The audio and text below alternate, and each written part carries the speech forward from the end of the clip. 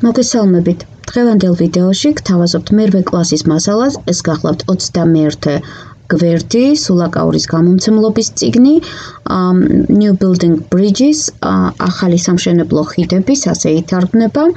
იცით, გრამატიკული მასალა remember. დაიმახსოვრეთ. Numbers, რიცხვები. Copy the captions above the corresponding numbers in your notebook. Captions სათაურები, corresponding შესაბამისი. გადმოიწერეთ სათაურები above ზემოთ გახლავთ, შესაბამისი რიცხვების ზემოთ თქვენ სრველში. Fractions, cardinal numbers, percentages, ordinal numbers. თარგმნოთ. მაშ დაიმახსოვრეთ fractions წილადები, cardinal numbers რაოდენობრივი რიცხვები percentages პროცენტები ordinal numbers რიგობითი რიცხვები.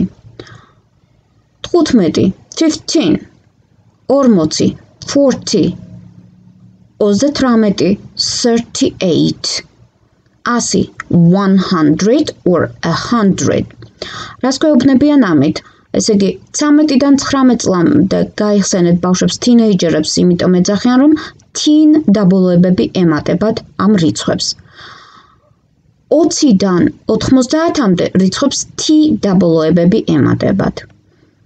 შუალედური რიცხვები, როგორიც არის ათეულებს შორის მოქცეული, მაგალითად 24, 38, იწერება დეფიციტ ტირით. და 100, 1000, მილიონი ასეთი რიცხვები კი ან 1 უნდა დავურთოთ წინ, ან a არტიკლი. ახლა მეორე, the third მესამე the 14th მეოთხე იცით რომ პირველი 2-3 განსხვავებულია რიგობითში და აუცილებლად რიგობით რიცხვებში ვამბობთ the articles ანუ the first პირველი the second მეორე the third მესამე. მაგრამ 4-ის შემდეგ უკვე ვიძახით s დაბოლოებით კბილით ენით ანუ the fourth ამ შემთხვევაში the 14th მე-14 ასე 20-მდე 21-დან ჩვეულებრივ 20 the 21st the 22nd the 23rd და მე 24-დან ისევ th ასოებს ვამატებთ ანუ the 24th the 25th და ასე შემდეგ. რაც შეეხება წილადებს, როდესაც ერთი გვაქვს ზემოთ ნიშნულში და მრიცხველში 2, მაშინ ვამბობთ a half ან 1 half ერთი მეორედი ანუ ერთი ანუ ნახევარი.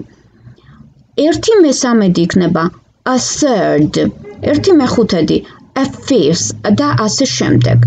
ну აქ არ გვაქვს მოცემული მასალა და შევეცდები რომ მაინც ვთქვა მაგალითად მოდით მოვიშველიოთ აი ეს პატარა სტიკერი სტიკერი და დავწეროთ 2 მესამედი. აი ამ შემთხვევაში როგორ გამოითქმის? უყურეთ, არ არ გვიწერია, მაგრამ მაინც ვიცოდეთ. ვიტყვით ჩვეულებრივ პირველას პირველ ორს 2. შემდეგ მესამეს ვიტყვით უკვე რიგობიტში. third ოღონდ რადგან ზემოთ ერთზე მეტი რიცხვი გვაქვს აი ეს 2 ხო აქ უნდა დავუმატოთ მრავლობითის ersi და გამოვა two thirds მაგალითად 3 მეექვსედი. აბა როგორ იქნება მიხვდით? დიახ, 3 და 6 გახლავთ 6 s და დავუმატებთ s 6s. აი ასე. იმედია მიხვდით? აა მოდით ამას არ მოვიშველებ. ახლა ნახოთ მეოთხე პროცენტები, ანუ fractions დაიმახსოვრეთ პროცენტები. 20% და 38% percent ცალცალკე იწერება. თუმცა შემთხვედრია ციგნი სადაც ერთად წერენ, მაგრამ დაიმახსოვრეთ რომ ცალცალკე დავწეროთ. ახლა მინდა მოგასმენინოთ მოსასმენი, აი ეს მეხუთე მოსასმენი. Listen to the dictation and write the correct answer in your notebook. მოусმინეთ კარნახს და დაწერეთ სწორი პასუხები თქვენს რვეულში. და შემდეგ გადავამოწმებთ ამის, მაგრამ ნუ უმჯობესია რადგან ჩანს აქვე, ნახოთ როგორ გამოთქვავენ მკითხველები, სპიკერები აი ამ რიცხვებს. ერთი წუთი თავიდან დავაწყებინოთ 50. Track 5. 1. 14. 2. 50%. 3. 125th. 4. 30%. 5. And 8th. 6. The 12th. ამ ესე კი ამოგვირჩიოს სიტყვები და ისე გვითხრას. მოდით კიდევ ერთხელ მოვისმინოთ. Track 5. 1. 14. I 14. 2. 50%. 50%. 125th. 125. 30%. 5. And 8. 20%. 6. The 12th. სად იყო 20%? აა ანუ უბრალოდ მოგვასწავლინეს ერთი წუთით კიდე მოვუსმინოთ. Track 5. 1. 14. 2. 50%. 3. 125th. 4. 30%. 30. 5. And 8th. 8. 6. The 12th. 12. ანუ 8 8 აი ეს და შემდეგ ბოლო იყო ეს. იმედია გაიგეთ. მოდით ახლა განვიხილოთ თითოეული 14 გახლავთ 14. The 14th მე-14. 40 40.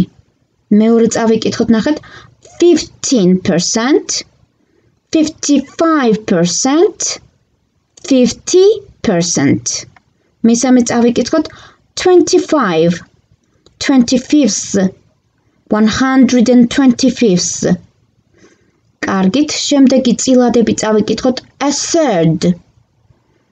30% 13% the eighth. მერვე a 8 81 შემდეგი წავიკითხოთ the 12 12s at 12s 12 თარგმნოთ მას 14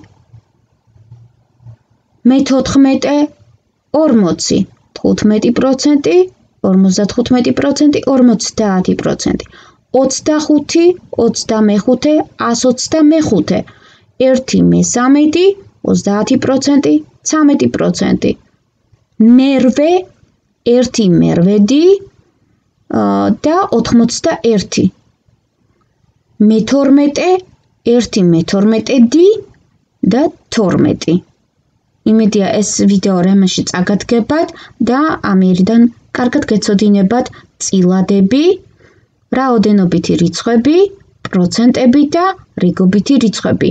Fractions, cardinal numbers, percentages and ordinal numbers. That's all for now. სულ ეს არის ახლა.